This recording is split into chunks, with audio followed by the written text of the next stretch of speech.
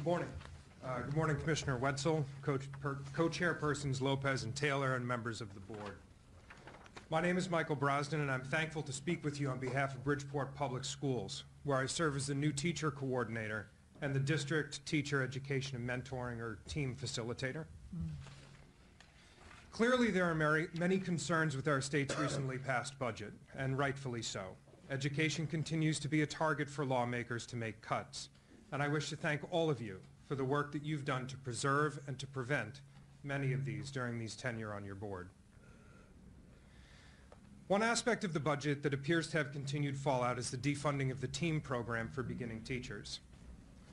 Already, the cost of shifting mentor stipends onto the district has had a significant impact on large urban districts. It will cost Bridgeport an unforeseen $91,000 to provide mentors with their $500 statutorily required stipends for this school year. And that's disregarding the fact that no new training for mentors is being provided. While initially it seemed that the major burden of cost that would fall on the municipalities would be this statutory mentor stipend and the projected cost of training new mentors, it seems that's not where the proposed cuts end. Unfortunately, the RESCs communicated they are no longer able to sustain the TEAM dashboard that districts use to track and communicate TEAM completion for the State Department of Education.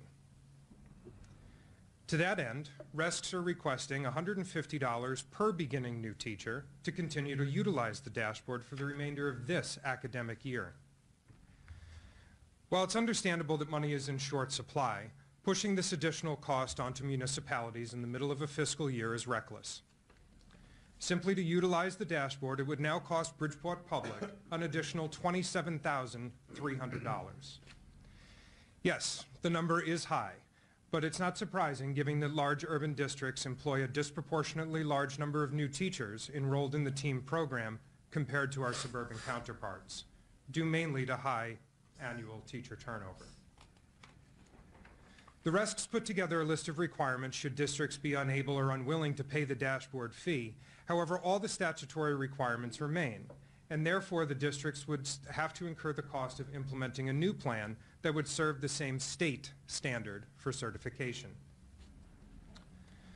Furthermore, despite the November memorandum from the Commissioner's Office outlining the districts and the State Department of Ed's respective responsibilities, which clearly states in bold that beginning teachers will no longer be required to submit reflection papers, district facilitators were informed that the statutory reflective requirement remains.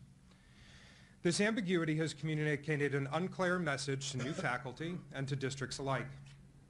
Understandably, the review process for the reflection aspect of TEAM also requires funding, and if that responsibility was also going to fall solely on the district, it needed to be made evident. I understand the timer went off, so I, th- I thank you very much for your time. The bottom line is that we have an unfunded mandate, and some of your large urban districts need your assistance to maintain the dashboard. Thank you. Thank you.